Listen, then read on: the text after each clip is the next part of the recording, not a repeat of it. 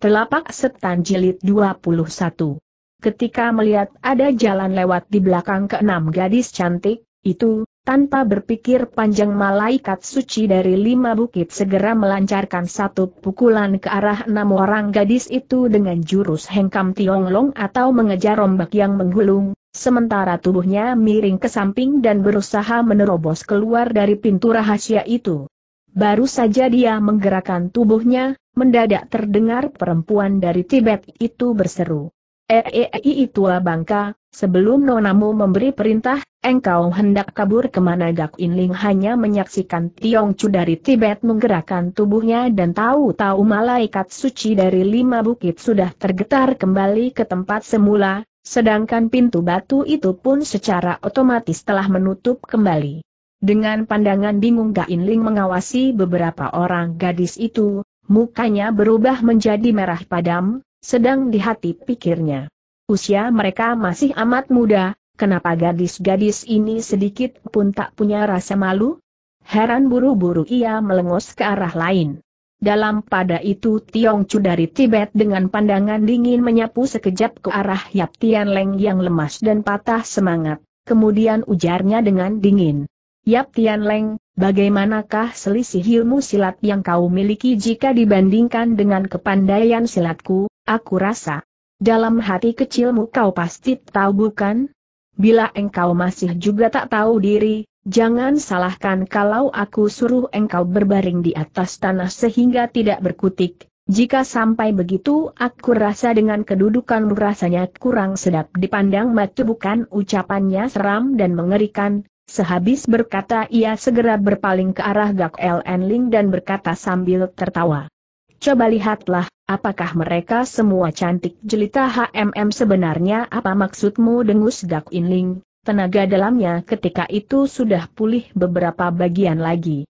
Maksudku, bukankah sudah tertera di depan mata? Jawab Tiong Chu dari Tibet sambil tertawa, aku tak takut setelah tiga orang dayang itu mampus, engkau bakal kesepian terutama sekali Dewi Burung Hong, bukankah begitu?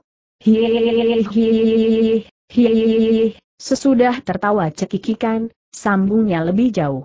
Oleh karena itu, andai kata engkau merasa bahwa mereka masih mendingan, maka sampai waktunya keenam orang itu akan menjadi milikmu semua, apa yang hendak kau lakukan atas diri mereka, aku tak akan melarang ataupun mengganggu, hawa amarah berkobar dalam benak Gak Inling, ia tertawa dingin dan berseru.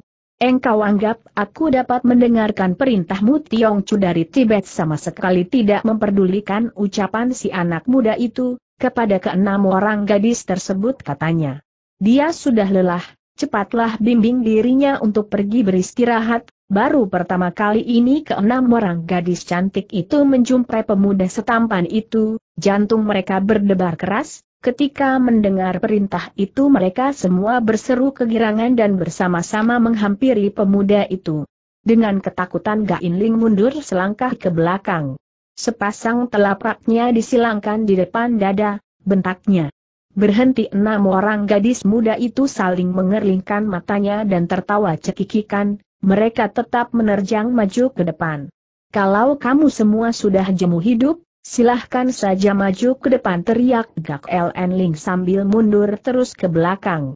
Mendadak pemuda itu merasakan punggungnya menumbuk sesuatu benda yang keras, ia tahu bahwa tubuhnya telah berada di ujung dinding, sementara keenam orang gadis tersebut masih tetap mengejar dari belakang. Terlihatlah orang yang berada di paling depan telah berada kurang lebih dua dipa di hadapan Gain Ling bau harum semerbak ciri khas seorang gadis tersiar memenuhi angkasa, hal ini makin mencemaskan hati si anak muda itu, dengan gusar teriaknya. Enyah dari sini mendadak dengan gerakan Tui Sem Tiam Heoto mendorong bukit membalik samudra, ia lancarkan satu pukulan dahsyat ke depan. Mimpi pun keenam orang gadis itu tak pernah menyangka kalau Gak Inling dapat turun tangan sekeji itu terhadap diri mereka, sebab pengalaman-pengalaman sebelumnya telah meyakinkan hati mereka akan keberhasilan usahanya itu. Oleh sebab itu tak kalah serangan dahsyat yang dilancarkan Gak Inling meluncur datang mereka sama sekali tak sempat untuk mengempos tenaga guna melindungi diri sendiri, Saking terperanjatnya air muka mereka berubah hebat dan matanya terbelalak lebar.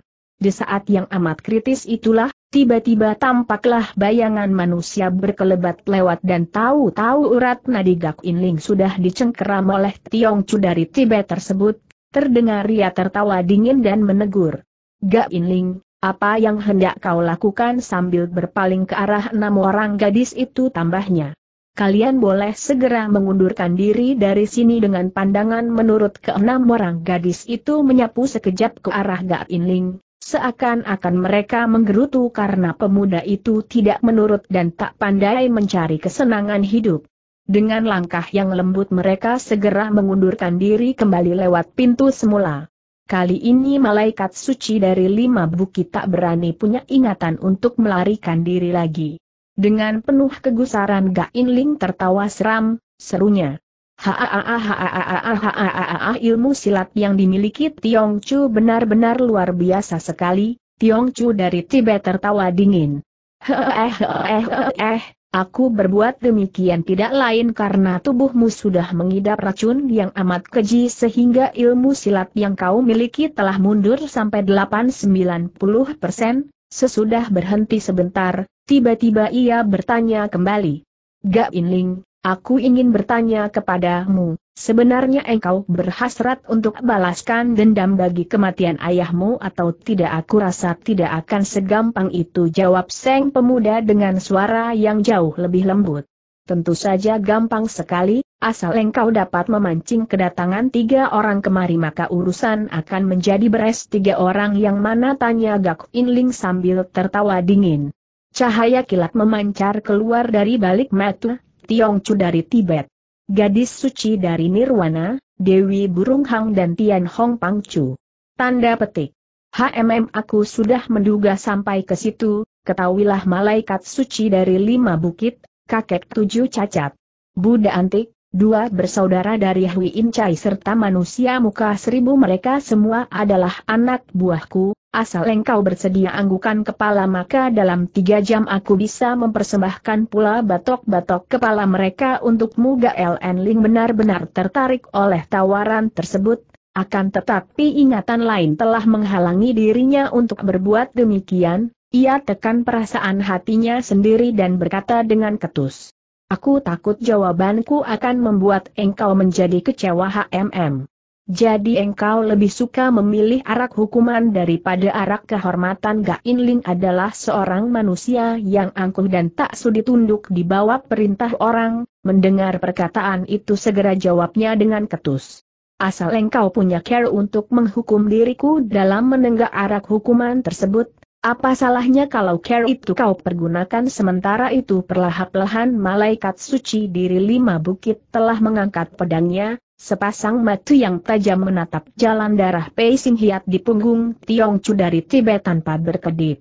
Tiong Chu dari Tibet ambil keluar sebuah bungkusan yang berisi bubuk warna merah dari balik pakaiannya yang tipis, kemudian ujarnya kepada pemuda Shigak, asal engkau bersedia makan obat ini maka mau tak mau terpaksa engkau harus mendengarkan perkataanku, berapa lama daya kerja obat racun itu tiga bulan ha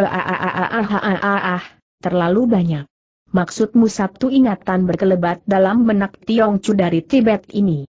Batas usiaku hanya tinggal satu bulan, akan tetapi menurut pengamatanku dengan kesehatan badan yang kumiliki sekarang, paling banter hanya bisa hidup tujuh hari lagi, ha tujuh hari cukupkah itu pada waktu itulah, tiba-tiba terdengar malaikat suci dan lima bukit membentak keras. Lihat serangan cahaya perak berkilauan, pedang kutung tadi laksana kilat meluncur ke arah punggung perempuan dari Tibet. Perempuan tersebut segera putar badan mencekal pedang tadi, Sementara tangan kirinya dengan suatu gerakan yang sangat tenteng menotok jalan darah Chiao Keng Hiat di bahu Gak Inling. Rupanya ia ada maksud untuk mendemonstrasikan kelihayannya di hadapan malaikat suci dari lima bukit, sesudah berhasil mencengkram kutungan pedang tersebut tangannya segera meremas dan keraas keraas kutungan pedang tadi tahu-tahu sudah hancur berkeping-keping dan tersebar di atas tanah dalam bentuk bubuk kasar. Paras muka malaikat suci dari lima bukit berubah hebat, senjata tersebut adalah senjata andalannya dan tentu saja ia mengetahui, sampai di manakah keampuhan senjata tadi, meskipun bukan termasuk pedang mustika yang antik namun senjata tersebut bisa disegani oleh setiap umat persilatan tentu saja dapat dibayangkan bahwa benda itu bukan benda sembarangan. Tetapi Tiong Chu dari Tibet dengan suatu remasan yang enteng ternyata mampu menghancurkan senjata tadi, dari sini bisa dilihat pula sampai di manakah taraf kepandaian silat yang dimiliki perempuan itu. Dengan pandangan dingin, Tiong Chu dari Tibet menatap wajah Engkel Gak Siu Kun tajam-tajam kemudian bertanya. Masih ada ilmu silat lain yang belum kau unjukkan keluar Yap Tian Leng termasuk seorang jagoan licik yang ulung. Mendengar pertanyaan itu ia segera menengadah dan tertawa terbahak-bahak, Aku menyadari bahwa diriku masih bukan tandingan dari Tiong Chu perempuan itu tertawa. Kalau memang engkau sudah tak mampu mengalahkan nonamu, aku rasa hanya ada satu jalan yang bisa kau tempuh, yakin mengikuti semua perintahku Yap Tian Leng tidak menjawab, dalam hati ia berpikir. Nampaknya ia hendak mempergunakan tenagaku untuk menghadapi ketiga orang gadis tersebut, aku harus baik-baik menunggangi situasi ini, berpikir demikian, dengan suara ketus ujarnya. Engkau bisa menenangkan diriku hanya terbatas dalam hal tenaga dalam, namun dalam cita-cita dan pikiran aku rasa engkau masih belum dapat menguasai diriku. Benarkah itu malaikat suci dari lima bukit bergidik, namun di luaran dengan wajah setenang-tenangnya ia menjawab. Aku percaya memang begitulah keadaannya Tiong Chu dari lima bukit ayunkan bubuk obat di tangannya, lalu berkata, Aku rasa batas usiamu tidak sampai tiga bulan belaka bukan? Tetapi engkau harus tahu, setelah makan obat ini maka badanmu akan kurang segar dan setiap tujuh hari sekali harus menerima obat pemunah, cuma saja, kalau memang engkau benar-benar mengira bahwa nonamu tak mampu menguasai jalan pikiranmu, maka silahkan saja untuk mencobanya. Tiba-tiba pintu gua terbuka dan muncullah seorang kakek, malaikat suci dari lima bukit yang menjumpai orang itu dengan hati terperanjat segera berseru. Ak ah ah. Kakek tujuh cacat, kakek tujuh cacat sama sekali tidak memandang sekejap pun ke arah malaikat suci dari lima bukit, Buru-buru dia lari ke hadapan Tiong Chu dari Tibet dan meminta dengan setengah merengek. Tiong Chu, aku sudah tak tahan, aku menerima tawaranmu itu mukanya penuh rasa sakit, keringat sebesar kacang kedelai mengucur keluar tiada hentinya, jelas orang itu sedang mengalami suatu penderitaan yang sangat hebat. Tiong Chu dari Tibet tertawa dingin, katanya. Bukankah engkau sudah pergi benar tapi, tapi, Nona toh tak pernah membatasi kebebasanmu, sepasang lengan kakek tujuh cacat yang membawa pedang mulai gemetar keras, seakan-akan sedang menderita sakit panas yang tak tertahan mukanya berkerut kencang.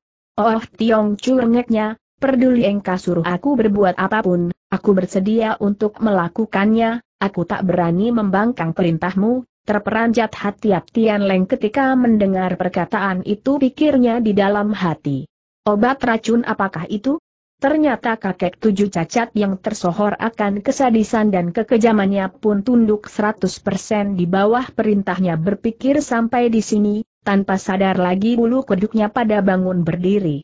HMM kata Tiong Chu dari Tibet kemudian, kalau begitu keluarlah dari sini dan dengan badan menggelinding di luar sana pasti ada orang yang akan memberi obat pemunah bagimu. Aa hal ini mana mungkin bisa terjadi pikir engkau gak kun dalam hati kecilnya. Belum hilang ingatan tersebut, ternyata kakek tujuh cacat benar-benar jatuhkan diri ke atas tanah dan bergelinding keluar dari ruangan tersebut.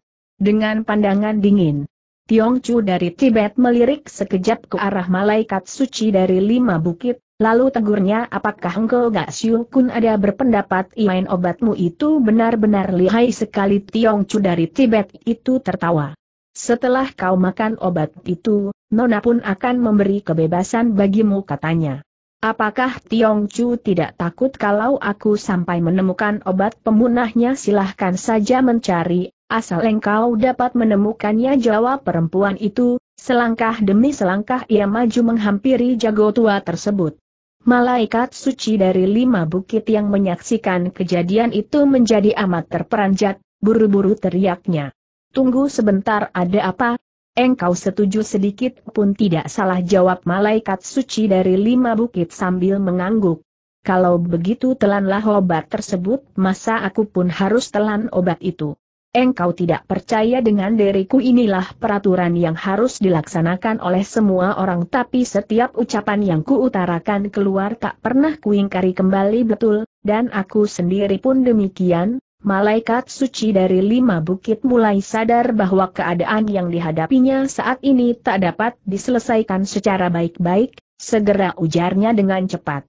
Apakah Tiong Chu dapat menyanggupi syarat yang kuajukan lebih dahulu?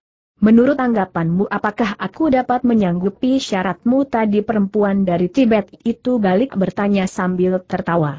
Jika Tiong Chu dari Tibet menginginkan agar aku bisa tunduk sepenuh hati, tidak sepantasnya kalau kau tampik kehendak orang lain ucapan tersebut begitu terbuka dan terang-terangan, Seolah-olah perkataan yang disampaikan kepada sahabat karibnya sendiri. Hektometer M perkataanmu masuk juga di akal, sahut perempuan dari Tibet itu sambil mengangguk. Coba katakanlah, kalau engkau tidak dapat mengabulkan permintaanku itu, diutarakan juga tak ada gunanya, aku rasa, diriku masih punya hak untuk menampik permintaanmu itu bukan paras muka malaikat suci dari lima bukit berubah hebat, Agaknya ia hendak mengumbar hawa amarahnya, akan tetapi setelah berpikir kembali dan menyadari bahwa ia sudah berada di bawah kekuasaan Tiong Chu dari Tibet. Jagot tua ini pun menyadari bahwa banyak bicara tak ada gunanya, betul betul betul perempuan dari Tibet itu tertawa, katanya lagi HMM engkau pandai melihat gelagat dan bisa menyesuaikan diri dengan keadaan, tidak malu disebut sebagai jagoan dalam kolong langit.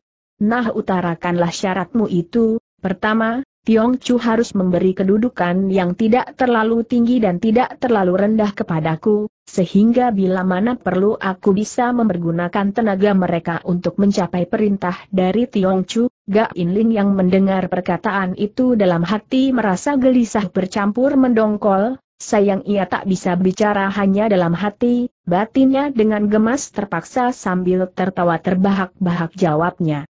Bila orang ini berubah, maka para jago di daratan Tionggoan pasti akan mengalami nasib yang malang. Sementara itu Tiong Chu dari Tibet telah menjawab sambil tertawa. Oh, oh, oh hal ini tentu saja, cuma orang yang memberi obat penawar kepadamu itu mempunyai jabatan yang jauh lebih tinggi dari dirimu. Sampai waktunya aku bisa memberikan tanda perintah kepadamu, legakan saja hatimu, kedua, engkau harus segera melenyapkan dia dari muka bumi, seraya berkata ia menuding ke arah Gak Inling. Mengapa sebab, hubungan di antara kita berdua telah diketahui semua olehnya tidak bisa jadi, nilai dirinya jauh lebih besar daripada dirimu, aku tak dapat membinasakan dirinya kalau tenagaku, dirinya. Memang Tiong Chu hendak mempergunakan tidak sepantasnya kalau menggunakan pula. Hanya dia seorang yang dapat memancing kedatangan tiga orang perempuan itu, maka aku hendak mempergunakan dirimu untuk memberi kabar kepada mereka, katakanlah kepada mereka bahwa sekarang Gak Inling masih hidup dan berada di tanganku, Bukankah mereka semua telah berada di dalam cengkraman Tiongju? Paras muka perempuan diri Tibet itu berubah hebat, tiba-tiba ujarnya.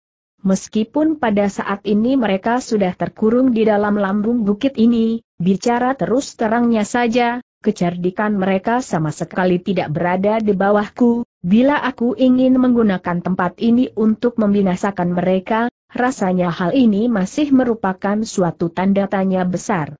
Kalau dikurung terus-menerus, bukankah mereka akan mati kelaparan dalam gua ini justru persoalannya aku tidak bisa mengurung mereka terlalu lama, Gak Inling yang mentegar pembicaraan itu, diam-diam merasa kegirangan, pikirnya. Asal mereka tidak mati, maka perempuan siluman ini pun tak akan berhasil mencapai hasil yang diinginkan, pada saat ini, Secara tiba-tiba timbullah kesan yang baik terhadap ketiga orang gadis tersebut. Bagaimana caranya untuk memberi kabar kepada mereka? Terdengar malaikat suci dari lima bukit bertanya.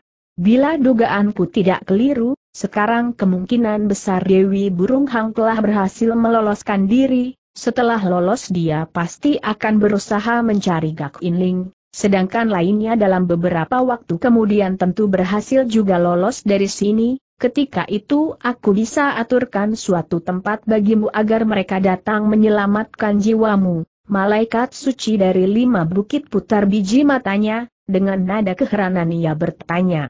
Kenapa sih engkau tidak pasang alat rahasia di dalam ruangan batu ini itu urusan pribadiku sendiri, perlu ku peringatkan kalau lain kali kalian berani memasuki lambung bukit ini lagi, maka tak akan segampang ini bisa mendapatkan ampun. Ia melemparkan bungkusan berisi bubuk obat itu ke hadapan Yap Tian Leng, tambahnya. Nah telanglah obat ini, Yap Tian Leng sadar bahwa melawan hanya akan mendatangkan kesulitan bagi diri sendiri maka tanpa banyak bicara lagi ia ambil obat itu dan segera ditelan ke dalam perut. Melihat tingkah laku jago tua itu, Tiong Chu dari Tibet tertawa dan mengangguk, ujarnya. HMM. Jika usahaku sukses, engkau terhitung salah seorang yang berjasa, engkau gak Siu Kun tertawa getir. Bila Tiong Chu ingin memberi pahala, maka aku hanya mengharapkan pengampunan bagi jiwaku, aku rasa bukan itu saja. Nah sekarang engkau boleh keluar dengan mengikuti jalan rahasia tersebut, kalau ada jalan lewat tembusi saja terus, maka akhirnya engkau akan sampai di tempat yang kumaksudkan, setelah bertemu dengan mereka. Apa yang harus kukatakan? Nafsu membunuh melintas di atas wajahnya, dengan seram ia menjawab. Katakan saja bahwa Gak Inling telah dikurung di atas tebing Wacu Ge Tiong Chu sudah membuat persiapan di sana aku percaya baik engkau maupun mereka kurasa jauh lebih paham daripada aku sendiri, Buat apa mesti banyak bertanya lagi kalau begitu aku mohon diri lebih dahulu dengan langkah lebar ia berlalu dari situ. Sepeninggalnya Engkau Gak Siu Kun, perempuan dari Tibet membopong Gak Inling ke dalam pelukannya dan berjalan menuju ke pintu, sambil berjalan ujarnya tertawa. Sungguh tak sangka engkau mempunyai kegunaan yang begitu besar, ia berhenti sebentar, kemudian berseru tertahan dan tertawanya. Ah rupanya wajahmu benar-benar sangat tampan, tidak aneh kalau Dewi Burung Hang begitu kesemsem dengan dirimu, sambil tertawa cekikikan ia segera cium pipi pemuda itu, dengan penuh bernafsu. Gael Enling mendongkol bercampur gemas, namun pada saat ini ia tidak bisa berbuat apa-apa kecuali menahan rasa dongkolnya di dalam hati. Batu hitam menonjol tinggi ke atas, bersusun dan bertumpuk-tumpuk sehingga menyelimuti seluruh jagat, di situ tak ada pohon, juga tak ada rumput, semuanya tandus dan menyeramkan. Awan putih bergerak di udara kabut tipis bagaikan asap menyelimuti bawah tebing, di tengah kesunyian terasalah penuh mengandung nafsu membunuh yang tebal. Inilah yang dinamakan tebing Wan Chiu seperti namanya monyet-monyet pun sukar untuk mendaki ke atas bukit tersebut, dapat dibayangkan betapa berbahayanya tempat itu.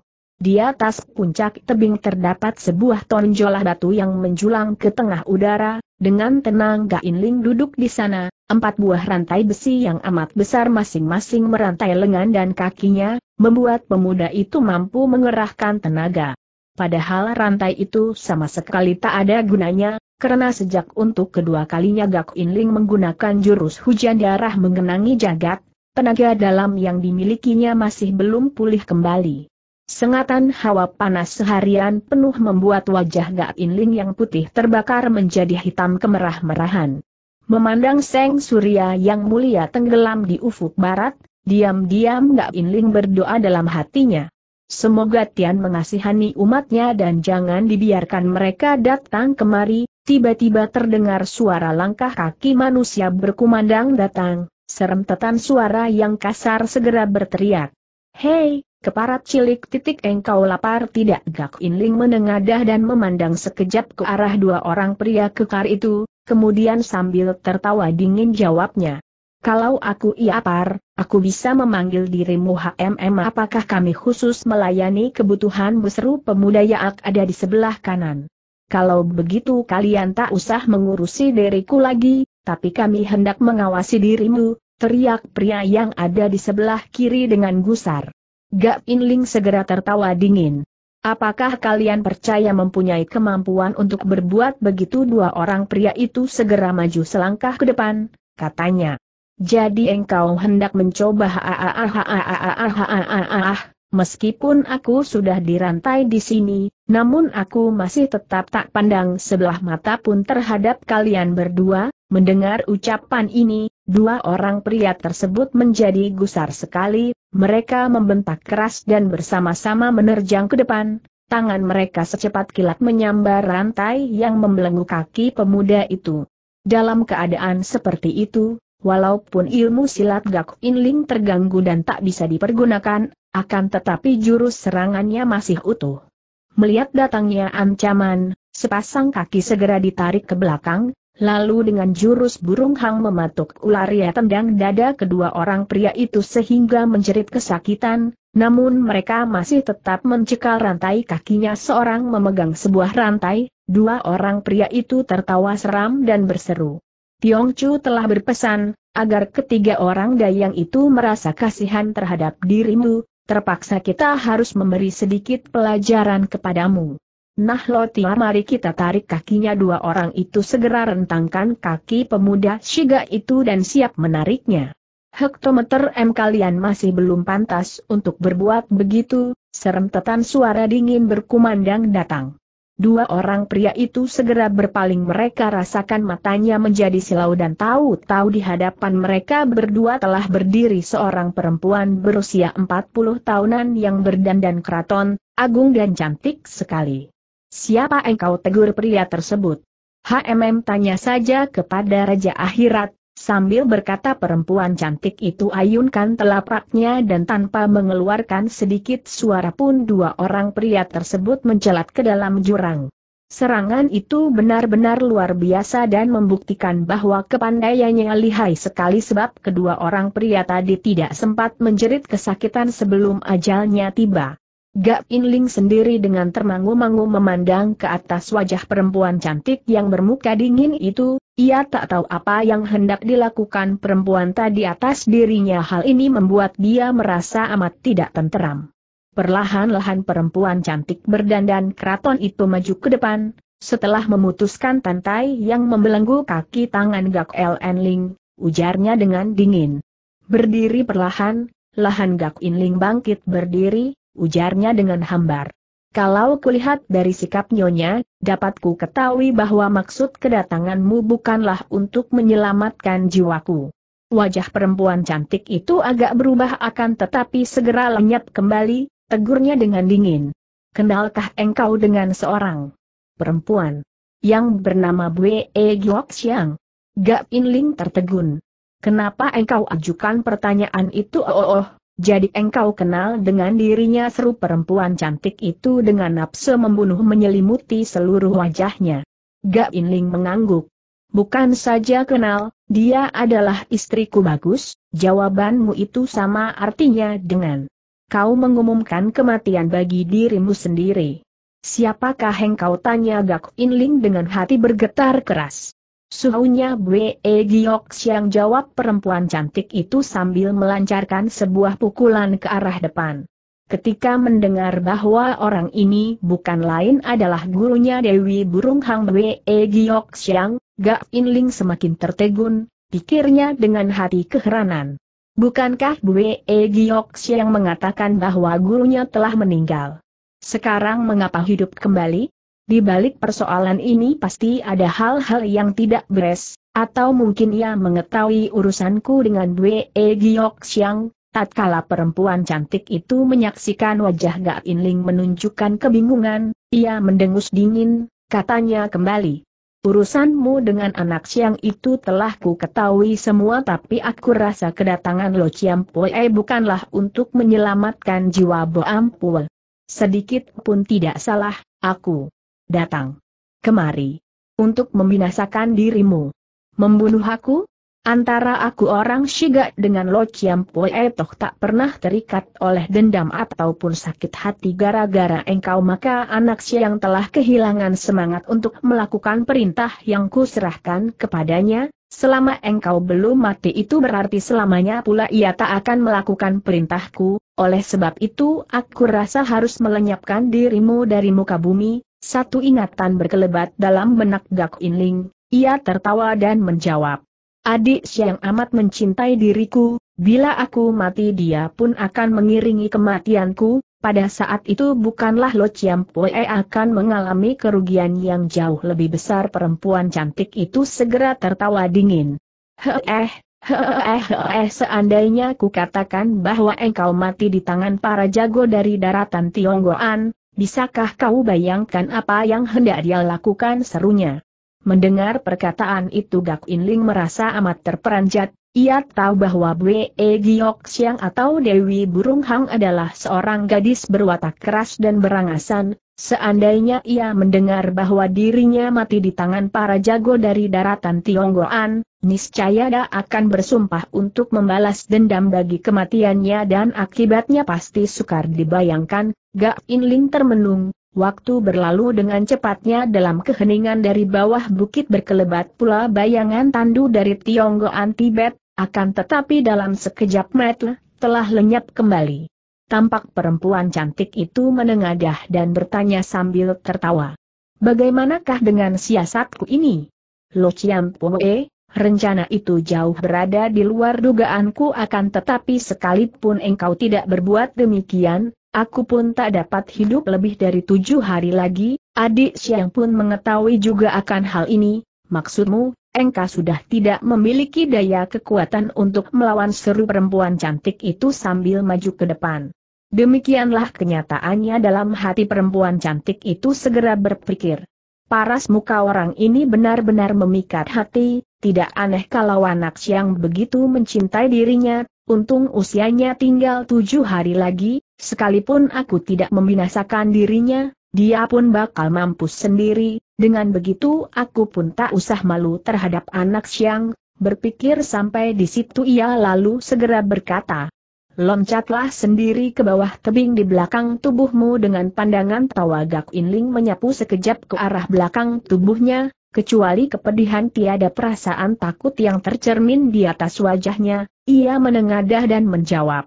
Lo Chiam Poe, apakah engkau bersedia mengabulkan sebuah permintaanku?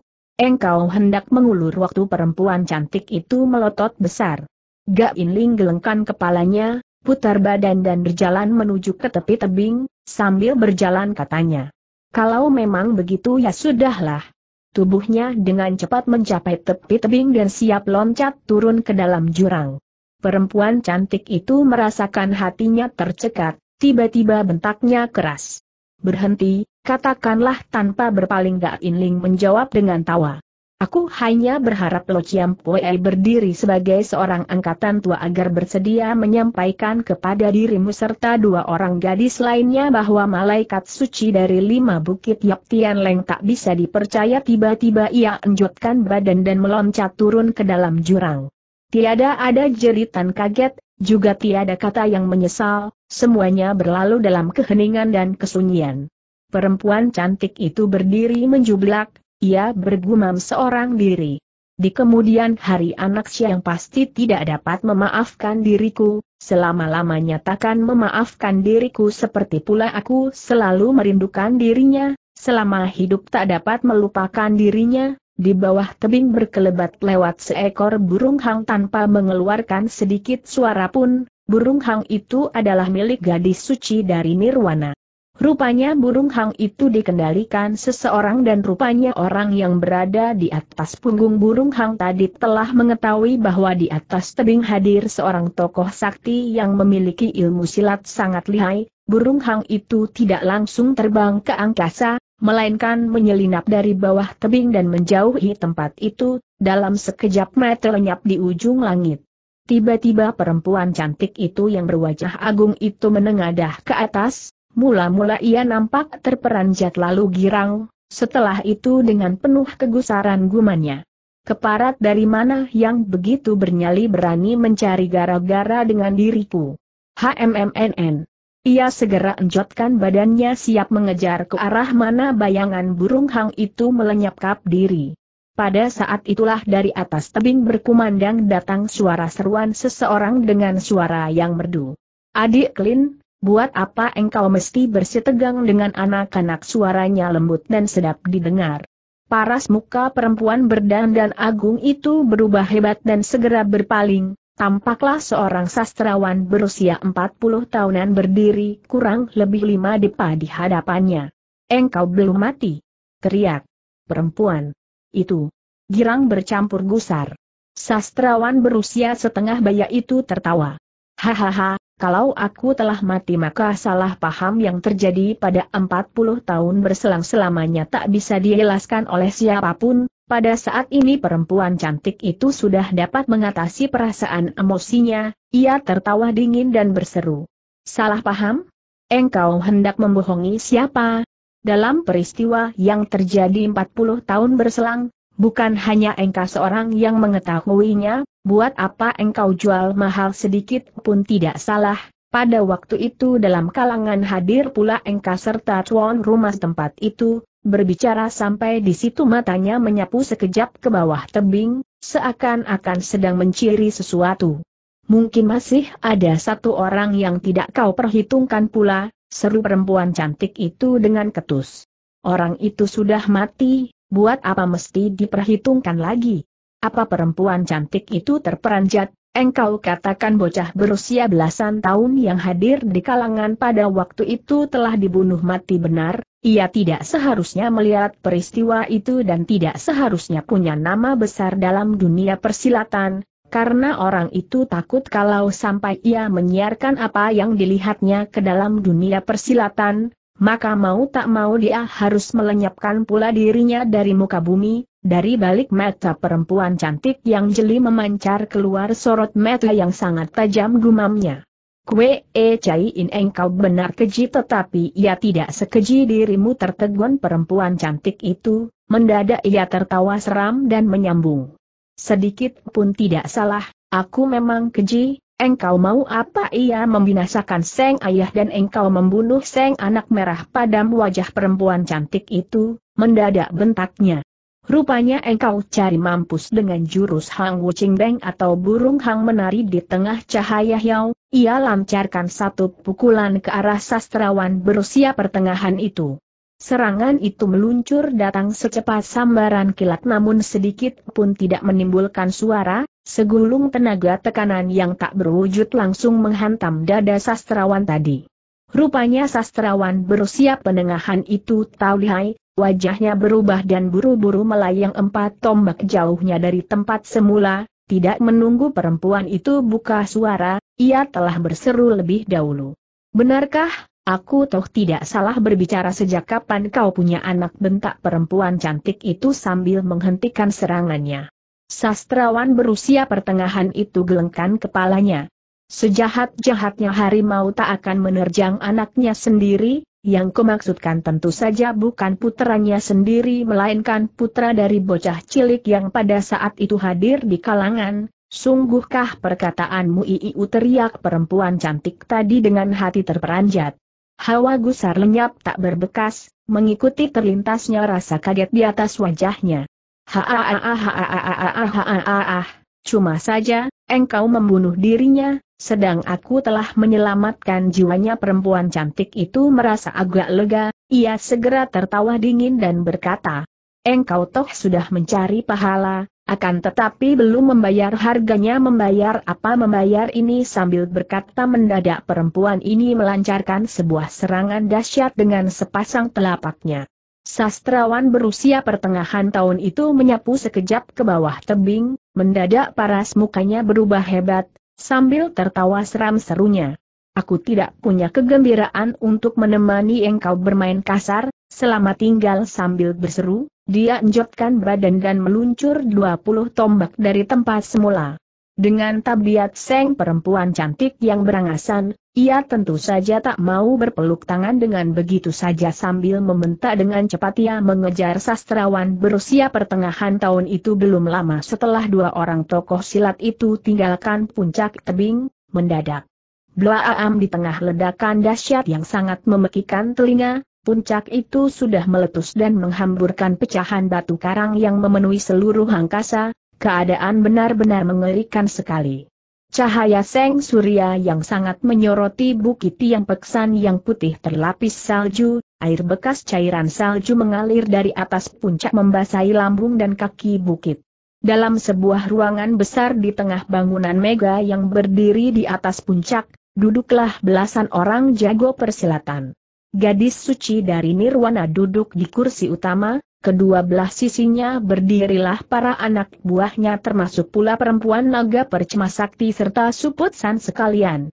Kurang lebih dua tombak di hadapan gadis suci dari Nirwana duduk membungkam seorang pemuda baju hitam, dia bukan lain adalah Gak Inling. Mukanya yang tampan kini diliputi kepucat-pucatan, Alis matanya berkenyit seakan-akan sedang memikirkan sesuatu persoalan. Suasana dalam ruangan itu sunyi senyap tak kedengaran sedikit suara pun, semua orang membungkam dalam seribu bahasa. Suatu ketika, gadis suci dari Nirwana menengadah dan melirik sekejap ke arah Gak Inling, kemudian ujarnya. Gak Inling, kali ini adalah untuk kedua kalinya engkau menginjakan kaki di tempat ini, tapi kedatanganku kali ini bukan atas kehendak hatiku sendiri, jawab Gak Inling sambil angkat muka. Gadis suci dari Nirwana mengerutkan dahinya, dengan perasaan tidak puas pikirnya. Aku telah selamatkan jiwamu, bukan saja engkau tidak berterima kasih kepadaku malahan mengira akulah yang membawa dirimu ke sini secara paksa, HMM tak sangka di kolong langit terhadap manusia yang tak kenal budi seperti dia. Diikuti gadis itu berpikir lebih jauh. Seandainya saat ini ia mohon kepadaku, akan ku serahkan segala sesuatu yang kumiliki kepadanya bahkan kedudukan lengcu pun aku boleh berikan kepada orang lain, mengikuti munculnya ingatan yang aneh itu, selapis rasa murung dan sedih berkelebat di atas wajahnya, ia tahu bahwa Gak Inling tak mungkin akan mohon kepadanya karena ketika untuk pertama kalinya dia hendak berbuat begitu telah ditolak olehnya, kendati pun akhirnya ia menyesal akan tetapi pemuda itu toh tak tahu kalau ia menyesal. Suput yang adalah seorang perempuan berwatak berangasan, melihat lengcunya lama sekali tidak buka suara, tak tahan lagi ia mendengus dingin dan ujarnya. Hektometer M. Gak Inling, Apakah Hengka sedikit pun tidak berperasaan? Aku tidak mengerti apa yang kau maksudkan. Sutput yang menjadi amat gusar, mendadak ia bangkit berdiri sambil teriaknya.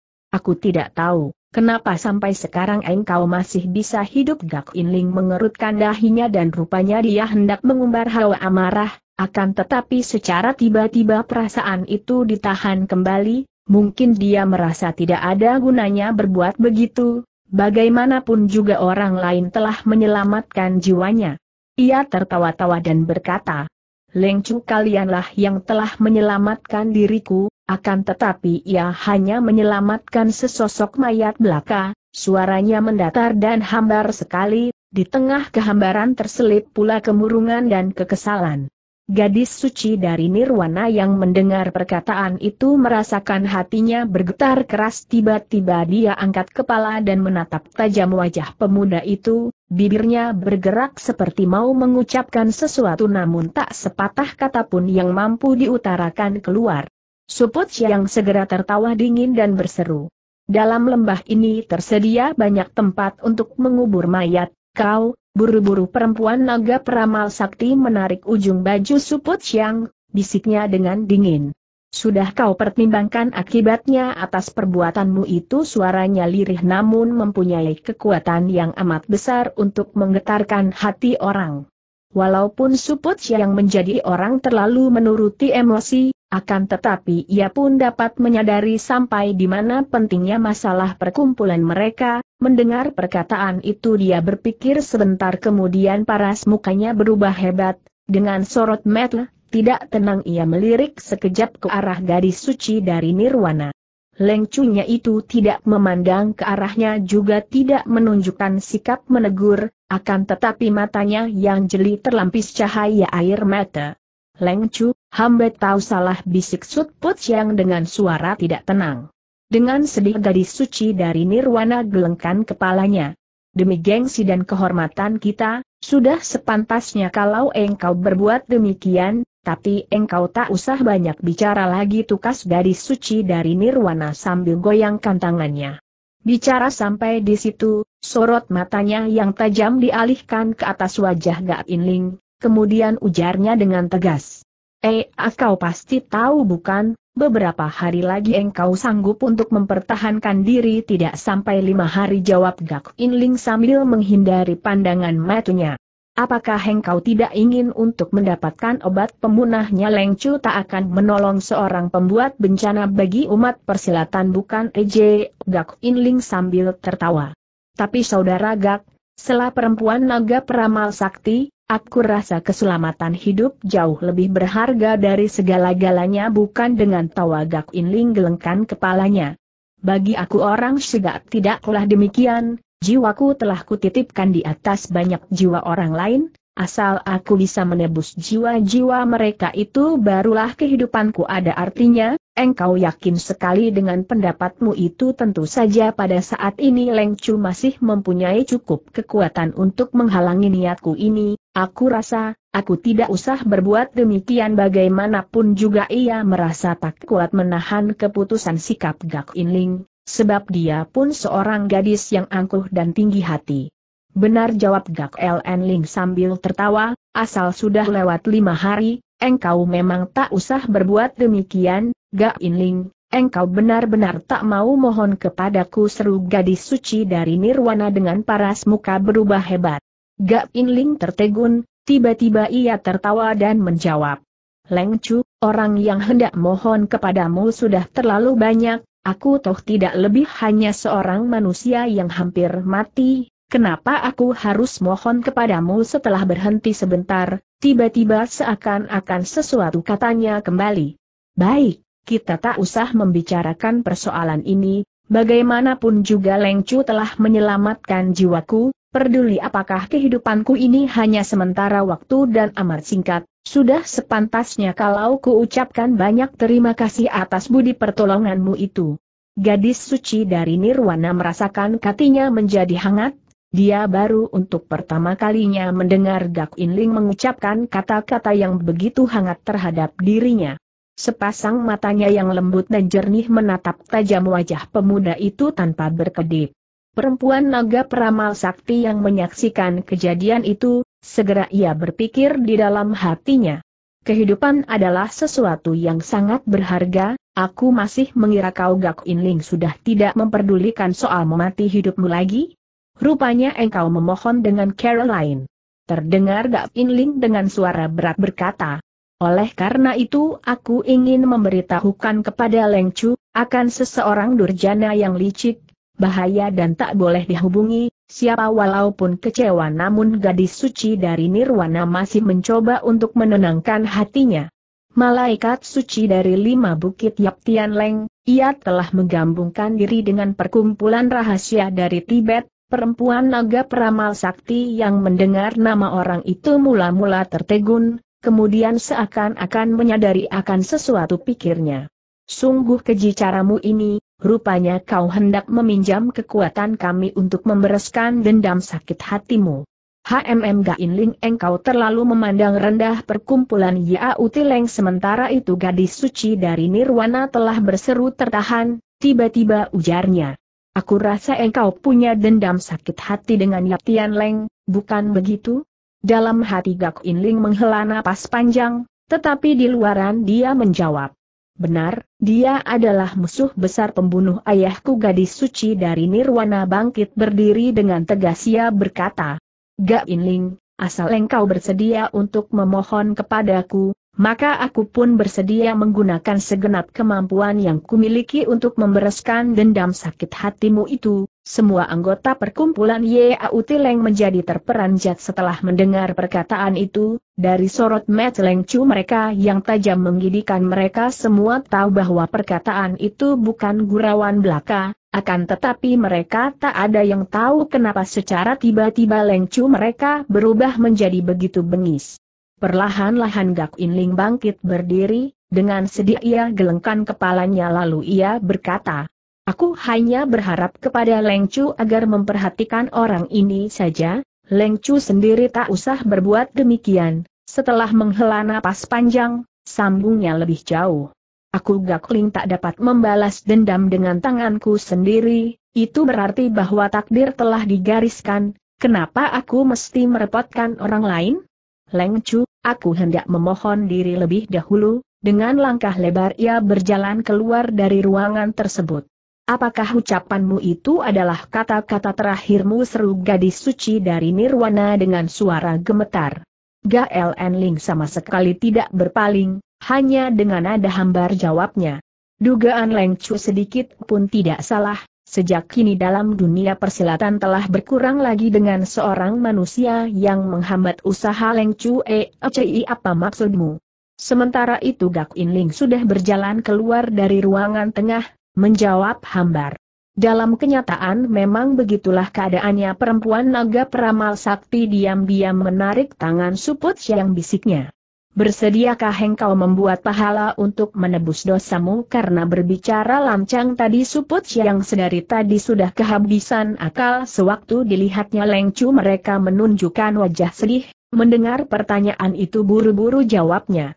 Tentu saja bersedia, tentu saja bersedia, Perempuan naga peramal sakti segera menuding ke arah bayangan punggung Gainling yang telah berada kurang lebih lima tombak jauhnya, dan bisiknya kembali.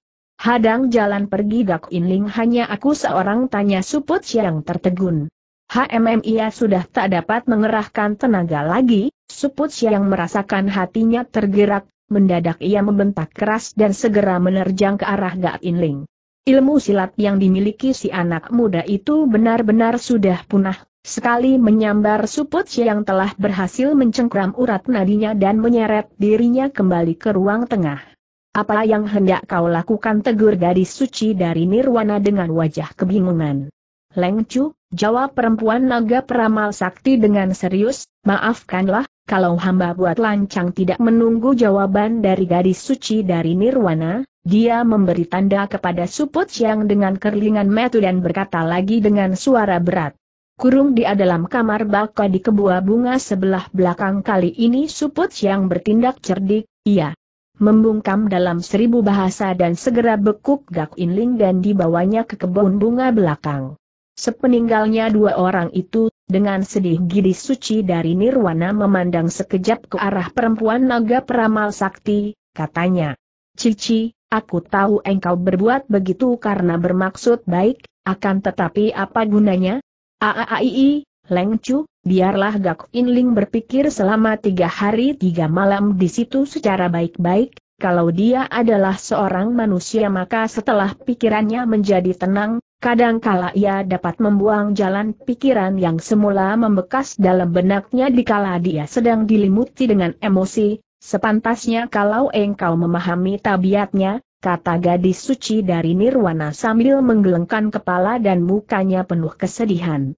Tidak salah, wataknya memang amat keras kepala akan tetapi bagi kita kecuali berbuat demikian rasanya sudah tiada jalan lain lagi.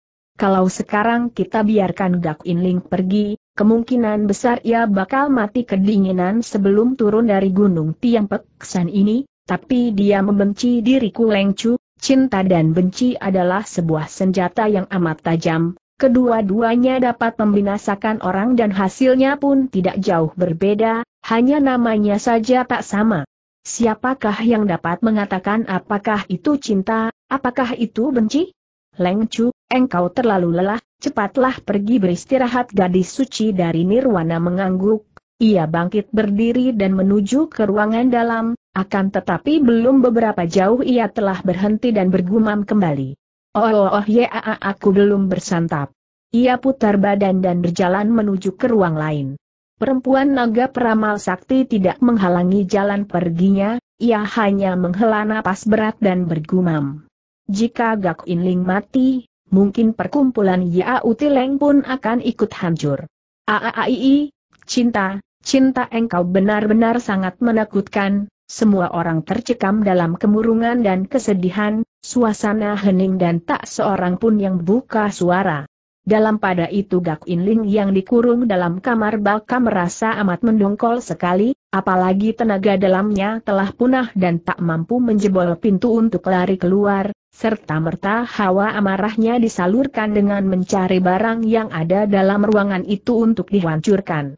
Akan tetapi ketika ia saksikan benda-benda dalam kamar baka itu bersih dan teratur rapi, pemuda itu batalkan maksudnya dan bergumam seorang diri. Kamar ini pastilah kamar bacanya, tidak pantas kalau aku menghancurkan barang-barang yang ada di sini, maka ia mencari kursi dan duduk, beberapa waktu kemudian, seorang dayang muncul menghidangkan makanan, sebenarnya Gak Inling tidak ingin makan, akan tetapi ia pun merasa tak baik untuk berpuasa, maka hidangan itu dimakannya sedikit. Ketika hidangan dihantar ke dalam kamar untuk kedua kalinya, hari sudah gelap, setelah mengundurkan Seng Dayang, Gak Inling pun mencari sebuah bangku untuk duduk, ia melirik sekejap ke arah pembaringan yang teratur rapi, meskipun dalam hati kecilnya ingin berbaring di sana akan tetapi suatu kekuatan lain mencegah dia untuk berbuat demikian, karena dia tahu bahwa pembaringan tersebut adalah pembaringan seorang gadis. Di atas meja tiada lampu lentera, pemuda itu membutuhkan kegelapan, agar ia dapat memikirkan banyak persoalan di tengah kegelapan itu. Mungkin terlalu lelah, entah sejak kapan tahu-tahu pemuda itu sudah tertidur pulas dengan bersandar di tepi dinding. Pintu kamar baka perlahan-lahan terbuka, seorang gadis berbadan langsing menyelinap masuk ke dalam ruangan, memandang Gak Inling yang tertidur nyenyak, gumamnya dengan sedih. Engkau tak akan menyangka bukan bahwa aku sudah lama berada di sisimu. Makanan yang kubuat sendiri hanya kau makan sedikit sekali, kenapa? Tidak cocok dengan seleramu. Ataukah karena membenci diriku? Aku, aku sampai kapan aku baru dapat menebak teka-teki yang membingungkan hatiku ini? Beritahulah kepadaku Gak Inling katakanlah kepadaku dua baris air mata jatuh berlinang membasahi pipinya. Tiba-tiba Gak Inling membalikan tubuhnya, membuat gadis itu menjadi terperanjat, menanti ia sudah yakin bahwa pemuda itu tidak mendusin didekatinya pembaringan dan mengambil selimut untuk menutupi badannya, kemudian dengan wajah sedih ia berlalu dari ruangan itu. Tiga hari bagi orang biasa tidaklah berapa, akan tetapi bagi Gak Inling bagaikan melewatkan waktu selama 300 tahun lamanya, karena ia tahu bahwa saat ajalnya sudah hampir tiba, namun masih banyak persoalan yang belum diselesaikan olehnya. Seng Surya baru saja tenggelam di balik bukit, pintu kamar terbuka dan masuklah seseorang, namun Gak Inling tidak berpaling, ia masih tetap memandang keluar jendela dengan termangu-mangu. Gak Syongkong teguran lirih berkumandang. Gak Inling terperanjat, karena suara itu bukan suara dayang, tapi dengan mulut membungkam ia putar badan, kemudian sapanya dengan perasaan tidak tenang. Leng Chu gadis itu membawa sebuah nampan kumala, di atas nampan tampaklah beberapa macam sayur kenamaan yang nampak lezat, meskipun nampak wajahnya tersungging senyum namun tak dapat menutupi kesedihan di balik biji matanya. Gak Inling buru-buru maju ke depan menyambut nampan tersebut, katanya dengan perasaan tak tenang. Leng Chu, sikapmu ini membuat aku orang Shiga merasa tak enak untuk menerimanya, gadis suci dari Nirwana tundukan kepalanya rendah-rendah, ia duduk di dekatnya dan berkata dengan sedih. Karena itu selama ini engkau selalu makan sedikit untuk menyampaikan rasa ketidaktenanganmu itu bukan Gainling meletakkan nampan itu ke atas meja, lalu menengadah dan bertanya dengan terperanjat. Makanan selama beberapa hari ini. Apakah hasil masakanmu sendiri? Tentunya tidak cocok dengan seleramu bukan tanya gadis itu dengan sedih. Tidak, akulah yang tidak punya selera untuk makan, karena aku telah mengurung dirimu dalam kamar tidak, karena aku tidak punya keberanian menghadapi kematian yang makin mendekat. Untuk gadis suci dari Nirwana merasakan hatinya agak bergerak, pikirnya. Perempuan naga peramal sakti benar-benar memiliki kecerdasan otak yang melebihi orang lain, semula aku tak pernah memikirkan untuk menggunakan kata-kata semacam ini untuk menghadapi dirinya, berpikir sampai di situ ia lantas bertanya, Engkau takut mati siapa pun takut mati aku toh bisa menyelamatkan jiwamu, dan aku telah mempertimbangkannya masak-masak, sudah ambil keputusan benar. Dari balik sorot mara gadis suci dari nirwana memancar keluar cahaya yang amat tajam, segera serunya. Aku dapat segera ambil obat pemunah itu untukmu harap Lengcu jangan salah paham, Gael Enling gelengkan kepalanya. Jadi engkau tidak menerimanya benar, dan itulah keputusan yang kuambil setelah mempertimbangkannya masak-masak, gadis suci dari Nirwana merasa putus asa dan kecewa, dua titik air mata jatuh berlinang membasahi pipinya, dengan hampir sesenggukan katanya. Apakah Hengka selalu membenci diriku, dan sampai mati pun, tidak bersedia menerima kebaikan hatiku?